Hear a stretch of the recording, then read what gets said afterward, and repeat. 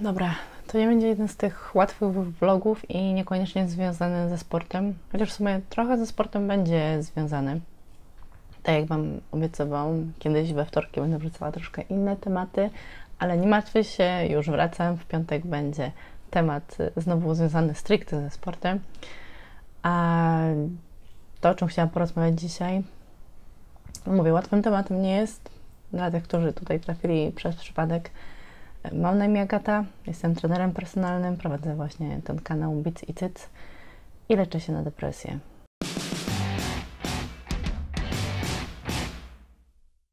W ogóle to się trochę ekscytuję, bo to jest pierwszy vlog, który nagrywam w mojej sypialni. Jak widać są cotton bolsy, co czyni mnie wreszcie pełnoprawną vlogerką, bo jak może być vlogerka bez czystej ściany, bez białych mebli, bez cotton bolsów? Ale dobra, przechodzimy do, do tematu.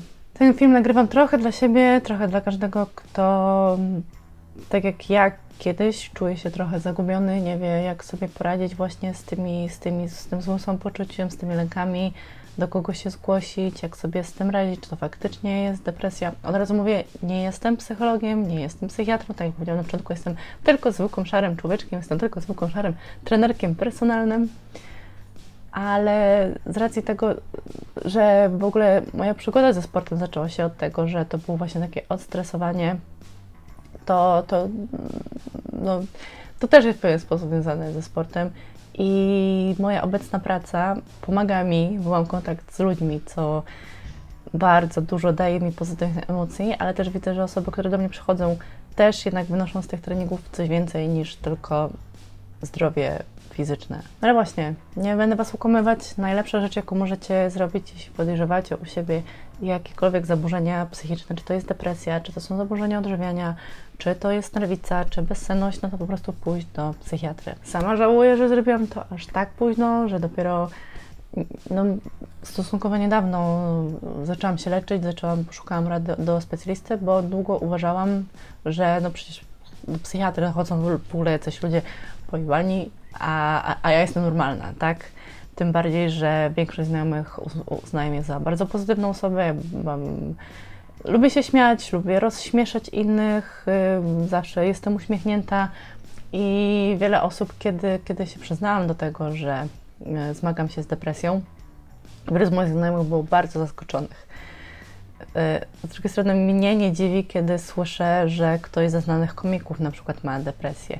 E, Jim Carrey, czy chociażby fantastyczny aktor, niestety świętej pamięci Robin Williams, który no, tak naprawdę w momencie, kiedy w środku siebie masz piekło, to albo, albo, albo jesteś nie do życia i, i, i nie kontaktujesz w ogóle nic, albo właśnie to jest jedna z takich masek, chociaż w sumie może nawet nie masek, to jest tak, że mm, kiedy jest Ci wszystko obojętne, to jest Ci obojętne, czy ludzie się z Ciebie śmieją, czy Cię lubią, czy nie.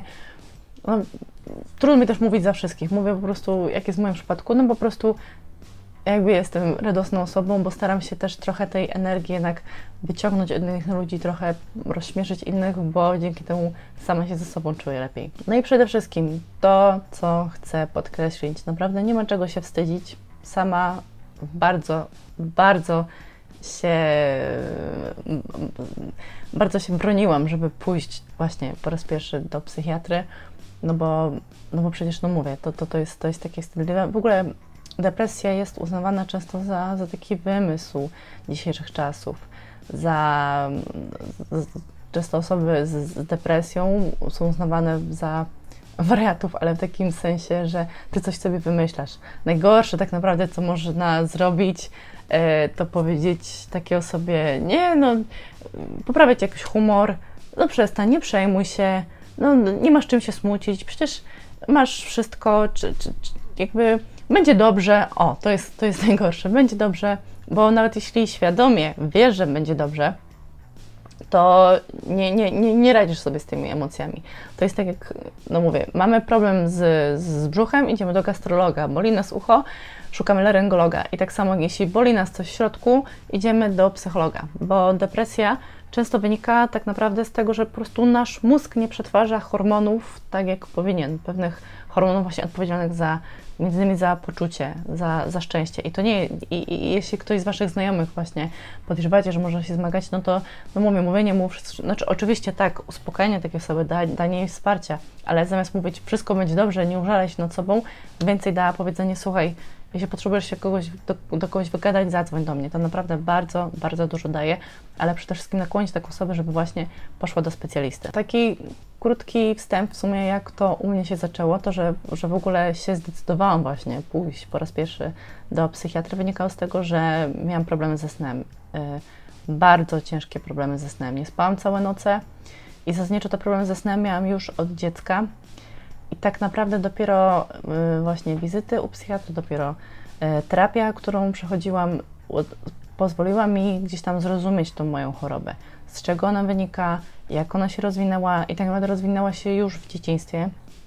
No jakby moja historia jest taka, że będąc, y, będąc dzieckiem straciłam kogoś bardzo bliskiego, i to pociągnęło już całą lawinę kolejnych zdarzeń, które no, do tego, że już w dzieciństwie zmagałam się z zaburzeniami odżywiania, miałam problem z tym, żeby, żeby patrzeć na jedzenie jak normalny człowiek, bo sobie coś tam próbowałam tym jedzeniem rekompensować.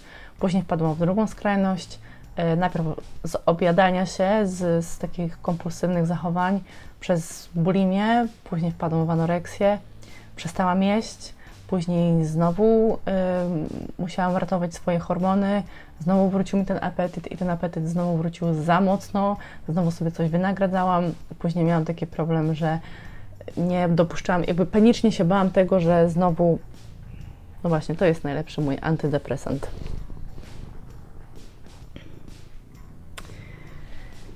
Więc wybaczcie, jak będzie słychać murczenie w tle. E, później było tak, że, że nie przyjmowałam do siebie, jakby, no ja zawsze byłam po prostu pulchnym dzieckiem i, i gdzieś tam podświadomie nie przyjmowałam do siebie tego, że mogę tę serwetkę jakoś zmienić. Wręcz podświadomie nie chciałam tego. I, i jakby okej, okay, naprawdę akceptuję siebie, bardzo lubię swoje ciało, ale w i w momencie, kiedy ono się zmieniało w jakikolwiek sposób, mimo że, y, mimo że chciałam, mimo że chciałam na przykład no, nabrać trochę masy albo, albo troszkę wy, wyrzeźbić troszkę tego brzucha, no to gdzieś na podświadomie bałam się po prostu zmiany, bałam się tego, że stracę znowu okres tak panicznie, że, yy, że po prostu zajadałam, zajadałam stres, bo bałam się schudnąć. Tym bardziej, że też wiem, że naprawdę moje hormony nie pozwalają mi po prostu zejść poniżej pewnej wagi. Teraz yy, przez pobyt w szpitalu yy, przez, przez jakiś tam stres ta waga mi spadła i się niepokoję, bo już widzę, że te hormony nie działają tak, jak powinny, więc też kolejna rzecz, ja często słyszę, że o, jesteś gruba jak na trenerkę, że tak powiem, pocałujcie mnie w dupę. Nie, nie, oceniajcie ludzi, bo no mówię, mnie to już nie rusza. Ja mam już tą pewność siebie, nauczyłam się tego na terapii, wypracowałam to, bardzo mnie to dużo kosztowało, ale nie jedną osobę możecie po prostu w ten sposób obrazić pewnymi stereotypami. Ale dobra, wracamy do tematu jak w ogóle się objawia depresja? Mogą być różne objawy. Może to być y, po prostu obniżony nastrój, ale też może być tak, że mimo tego obniżonego nastroju dana osoba zachowuje się w odwrotny sposób, czyli właśnie, no mówię, taki, taki trochę efekt komika, który pokazuje, który gdzieś tam buduje wokół siebie taką bańkę właśnie z żartów, z, z uśmiechów, a w głębi duszy jest jednak bardzo smutną osobą i, i ja tak miałam teraz już, no mówię, teraz już to opanowałam, ale tak miałam, że dużo dawałam od siebie energii, wracałam do domu i byłam po prostu kłębkiem nerwów. Wracałam do domu i płakałam i, i, i bałam się, jakiś taki paniczny lęk.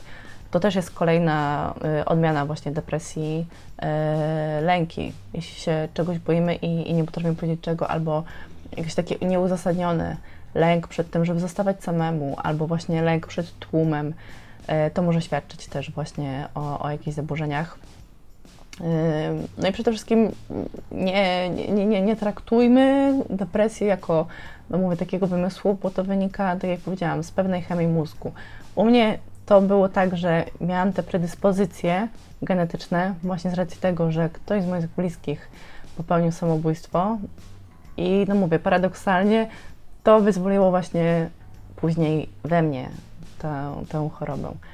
E, u mnie objaw był taki, że po pierwsze, no, to o czym już mówiłam wiele razy tutaj na kanale, od dziecka zmagałam się z zaburzeniami odżywiania bardzo różnymi. No, mnie żaden nastrój, jakieś tam lęki też się pojawiały, ale to bardziej były, bardziej było fazy. Ja raczej siebie uważam za, za, za dosyć wesołą osobę, ale przede wszystkim bezsenność. I wierzcie mi, to jest po prostu tak straszne, kiedy leżysz i nie potrafisz zasnąć, kiedy leżysz, i, i, a najgorsze, kiedy jesteś zmęczony, czujesz tę senność, ale twój organizm nie pozwala ci zasnąć. Opanow, opanowuje ci jakiś strach, jest ci niedobrze. Nie, nie, nie, nie, nie potrafisz się po prostu rozluźnić na tyle, żeby twoje ciało cały czas jest w takim stanie pobudzenia, w takiego strachu. No i to wygląda tak, że psychiatry po, po, po, po jakiejś tam konsultacji dostałam e, odpowiedni lek. Później te leki zmieniałam, zmieniałam też psychiatrów. E, byłam na jednej terapii, byłam na drugiej. Nie, nie zakończyłam jakby żadnej z nich, ale każda z nich też mi coś dała. Więc to, co, jak, to, to właściwie jaki był temat przewodnie tego odcinka, jak żyć z depresją. Przede wszystkim pozwól sobie pomóc.